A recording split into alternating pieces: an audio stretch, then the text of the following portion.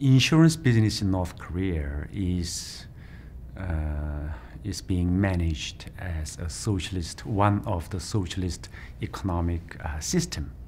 So all factories, farms, uh, they should insure their properties to the state, and they should pay a certain uh, portion of the income as the premium for that insurance, and the state itself is using that resources for the socialist, you know, policies, uh, you know, free medical care, free education, etc.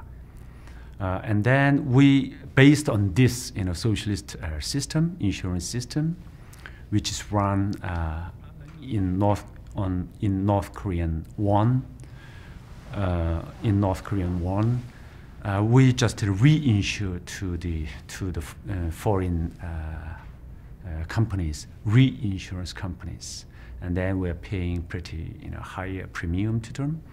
And when there are accidents, disasters or whatever in North Korea, when they have that, you know, we reclaim, we claim for uh, these damages, and then we earn foreign cash we earn you know US dollars, and then we are giving this US dollar uh, income to Kim Jong Il as his uh, birthday present.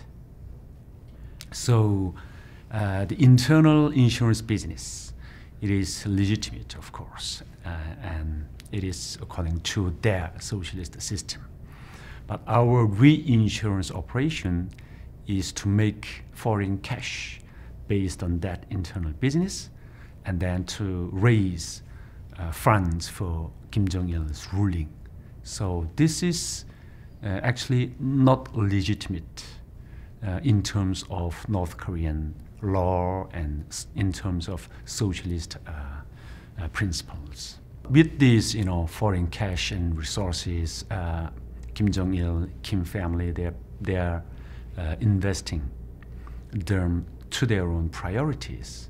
And their first, their utmost you know, priority is to develop uh, the missile and nuclear program.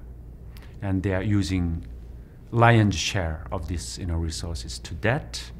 And then they are living this you know, uh, luxurious you know, uh, life.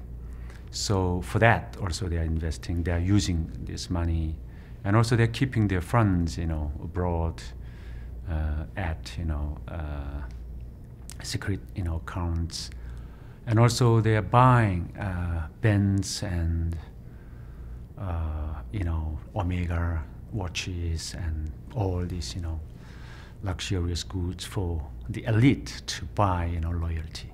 So according to his priority, he's using this fund.